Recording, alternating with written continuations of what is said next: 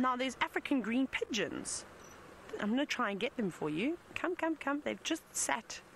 Let's see where they landed. They flew into the quarry. Okay, Sebastian, you see there's that dead branch that comes up? There's one just just on the edge. I think you might actually be able to see it straight in the middle of your screen. There it is. Can you see it just over there? We'll just, there we go. There it is just sitting behind the guarri leaves. So that is an African green pigeon. This could potentially be a new bird for your bird list. And if it is, let us know what number you are on. Hashtag Safari Live. It's always good to keep uh, sort of tabs as to where everybody is with their birds but they are lovely birds. Look at the beautiful colors that they have on them. I love their sort of reddish orange feet, and the cere on their beaks is also that same color with almost that yellow orbital ring around their eyes. And they always look like they're well fed.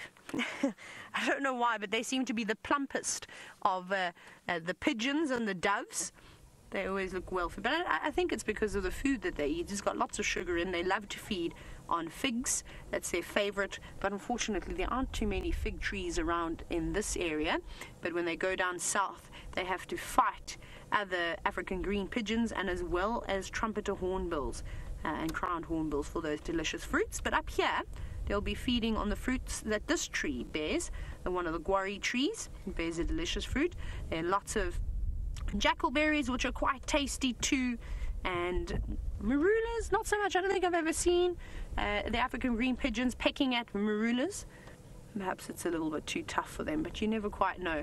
Now, there was another one, but I don't know where it's gone. I think it's gone further and further into the shrub. But that makes for a very, very pretty picture, the way that it has perched itself up there. Okay. Machine Gun Ned, no, Machine Gun Nest. You've said that this is number 91. I did hear that correctly, right, Sebastian? 90, 91? Nine.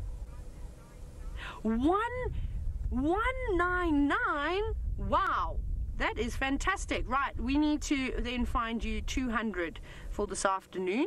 Machine gun nest, that's exactly what we're going to do. I don't know what bird it's going to be. Perhaps you haven't got one of the buntings on your list. Maybe you're missing a chugra. Who knows, but we'll see if we can get you to 200 this afternoon.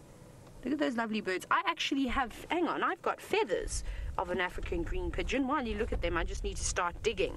And yes, come here. There's one, there's two, there's three. But where are all my green ones?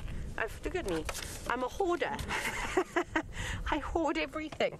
I have got feathers. Now, these, it's quite difficult to tell, but the only, the, what actually gives it away that it's an African green pigeon is you've got to look very closely on the edge of the feather.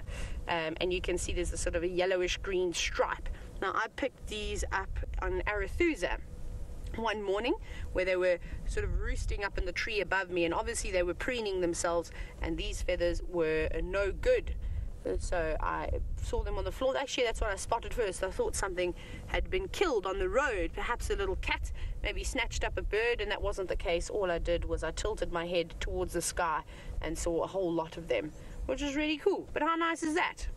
Now you've seen the bird, you've got a close-up look at their feathers too. You can see why I wouldn't want that one. Look how damaged the tip of that feather is. It's not that good. Hmm.